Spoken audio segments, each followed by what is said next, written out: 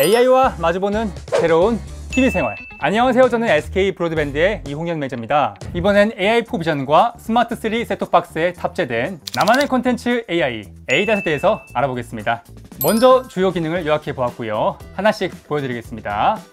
상단의 에이닷 아이콘을 클릭하거나 검색창에서 에이닷 배너를 선택하셔도 되고요. 리모컨 마이크 버튼을 눌러 ADAT 자 이렇게 ADAT과의 대화 화면으로 들어왔습니다. 아 그럼 나 요즘에 기분 좀 꿀꿀한데 뭐 힐링 영화도 추천해 줄 수 있어? 힐링이 필요하다면 안녕 할보지를 추천해 드릴게요. 부모님과 같이 보기 좋은 영화 추천해 줘.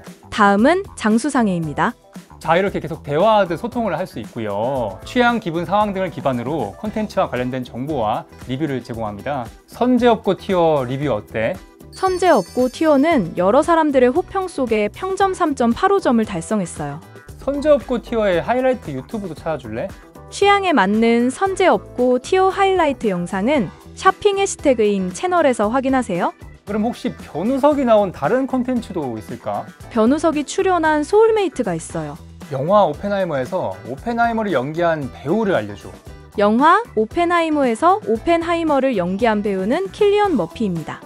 킬리언 머피가 출연했던 다른 영화들은 어떤 게 있을까? 킬리언 머피가 출연한 다른 영화로는 오펜하이머, 콰이어트 플레이스의 유혹의 계절 안나 덩케르크 등이 있습니다. 내용, 출연 배우와 같이 일부만 기억나는 콘텐츠도 에이닷을 통해서 물어보세요. 인사이드 아웃2 시청자 반응 알려줘. 인사이드 아웃2는 많은 사람들에게 호평을 받아 평점 3.92점을 달성했어요. 인사이드 아웃2 유튜브에서 리뷰 찾아줘. B tv 이동진의 파이아키아 채널에서 인사이드 아웃 2 리뷰를 확인해 보세요. 요즘 쿠팡 플레이에서는 뭐가 인기 있을까? 현재 쿠팡 플레이에서는 백설공주에게 죽음을 블랙아웃이 인기가 있어요. 그럼 이번엔 티빙 오리지널 드라마 추천해 줄래? 한국의 액션 드라마 우씨왕후 파트 1을 추천해 드립니다. 넷플릭스 인기 순위도 알려줄 수 있어? 현재 넷플릭스에서 가장 베스트셀러인 드라마 고파트너가 있어요.